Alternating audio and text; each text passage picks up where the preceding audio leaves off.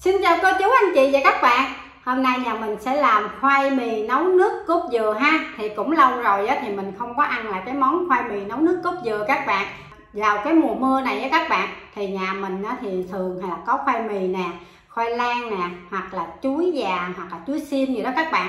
Thì tối tối nhiều khi mình đói bụng á, thì mình cũng có những cái món chuối hoặc là khoai gì đó thì mình nấu mình ăn á, thì sẽ rất là ngon và mình sẽ no bụng nữa. Các bạn thì sẵn năm nay nhà mình có khoai mì á thì cho nên là mình sẽ làm nấu nước cốt dừa cho gia đình mình thưởng thức vào cái mùa mưa này nha. Thì để làm cái món khoai mì á các bạn thì nguyên liệu mình cần chuẩn bị thì mình cũng có là một ký khoai mì. Mình mua về á, là mình cũng đã gọt vỏ nè mình ngâm qua nước muối để giúp cho khoai mì của mình nó nó sẽ không có bị mũ nè và nó sẽ trắng cái khoai mì của mình luôn. Với lại mình cũng có là lá dứa ha thì nước cốt dừa thì mình sẽ có là hai phần. Một phần là dảo một phần là nước nhất các bạn. Thì ở trong cái chén này là mình có là 200 g nước cốt dừa nhất nè 500 ml nước dừa dảo thì mình ăn kèm chung với lại cái cơm dừa thì mình sẽ nạo dạng ăn sôi đó các bạn. Thì mình để mình ăn kèm chung ha. 100 g đường đậu phộng và muối. Thì trước tiên á, thì mình sẽ à, cái khoai mì á ra cho nó thành một khúc nhỏ thôi các bạn. Đặng một hồi á mình sẽ đi nấu. Đặng cho nó mau chín đó các bạn. Thì à, khoai mì á mình nấu á, là cỡ cái khúc ngắn nhỏ như thế thế này là được rồi nè.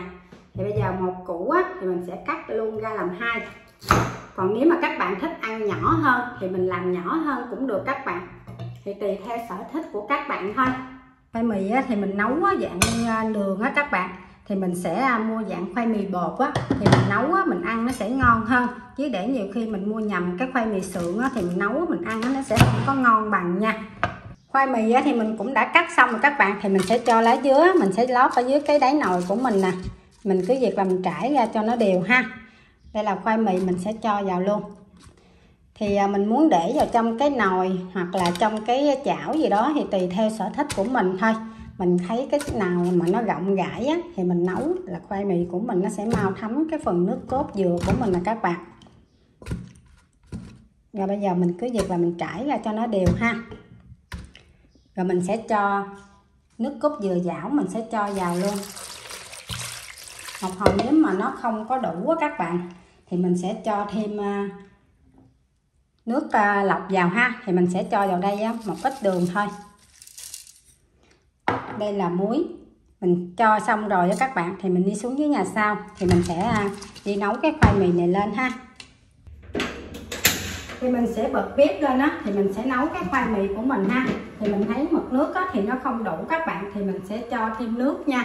Thì mình sẽ cho thêm nước uh, lạnh đó các bạn mình sẽ cho vào cho nó hơi ngập ngập cái khoai mì của mình tí xíu rồi bây giờ là mình cứ việc là mình nấu cái khoai mì của mình á, khi nào á mà nó chín đó các bạn, thì lúc đó thì mình sẽ quay tiếp cho các bạn xem nha.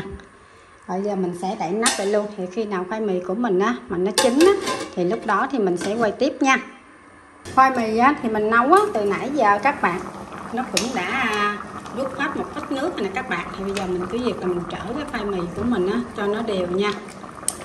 Mình cứ việc là mình trở cái ờ, củ ở dưới á, mình sẽ cho nó lên trên còn cái củ ở trên này nè, thì mình sẽ cho nó nằm ở bên dưới. Tránh nhiều khi cái khoai mì của mình á, nó không có chín đều á, thì nó sẽ không ngon nha.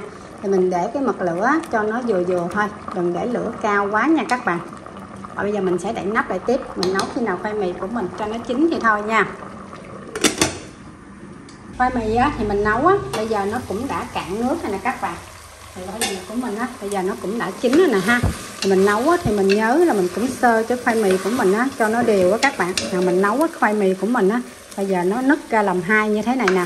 Thì bây giờ mình sẽ tắt bếp luôn thì mình sẽ chờ cho khoai mì của mình á nó nguội một lần cho nó nguội lại. Rồi sau đó thì mình sẽ chẻ khoai mì á ra làm hai. Thì mình sẽ ghim chung với lại nước cốt dừa một lần nữa nha. Khoai mì á thì bây giờ nó cũng đã nguội nè các bạn. Thì bây giờ mình sẽ lấy một củ khoai mì của mình nè. Thì mình sẽ chẻ ra làm hai. Khoai mì của mình á, bây giờ nó rất là dẻo, ngon lắm luôn.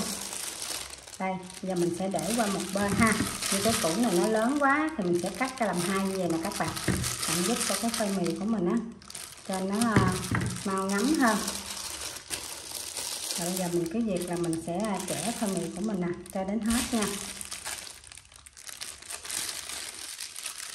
Còn nếu mà mình muốn cắt ra cho nó nhỏ hơn, thì mình cắt cũng được ha.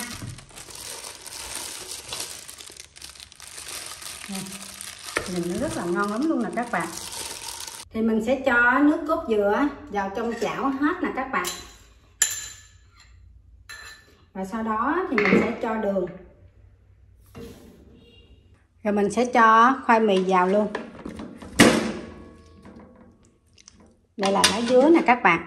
Mình sẽ cho vào hết luôn ha. Và bây giờ là mình sẽ à, bật bếp lên. Thì mình sẽ cái à, khoai mì của mình á cho nó thấm vào trong cái nước cốt dừa của mình một lần nữa nha. Thì mình cứ việc là mình dùng cái sạn á, thì mình đảo vậy nè, các bạn, mình cho lá dứa vào, mình xào thêm với khoai mì với các bạn để giúp cho cái khoai mì của mình á, cho nó vừa thơm nè, và nó vừa có cái độ béo từ nước cốt nữa, nó rất là ngon nha. Thì bây giờ mình cứ việc là mình để cái mật lửa cho nó vừa thôi. Mình đừng để lửa cao quá nha các bạn, mình để lửa cao quá thì sợ nhiều khi có nước cốt dừa thì nó sẽ à, mau à, với đường á, thì nó xích ở dưới cái đáy chảo của mình á, thì nó sẽ dễ bị khét nha.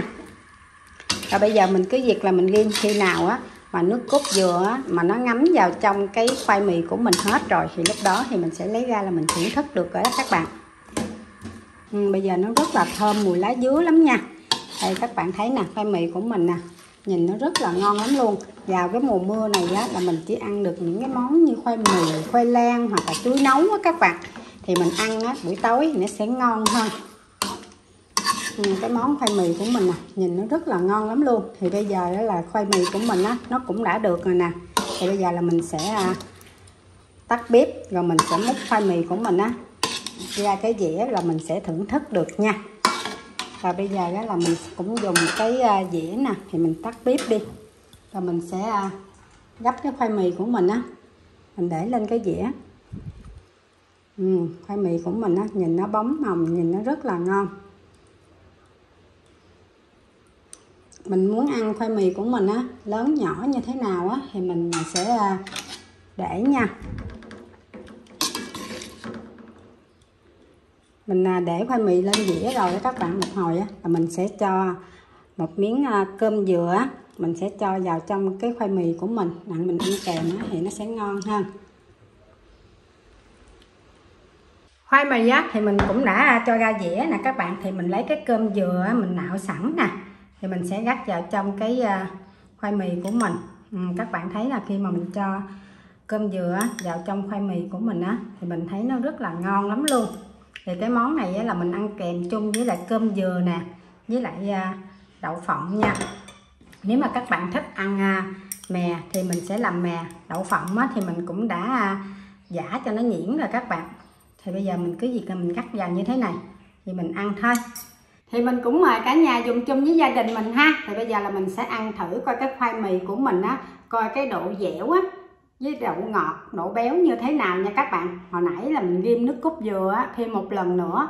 Nhưng mà cái miếng khoai mì của mình á, nó vừa bóng nè mà nó vừa thơm và nó rất là ngon các bạn. Thì bây giờ là mình sẽ ăn thử thôi. Uhm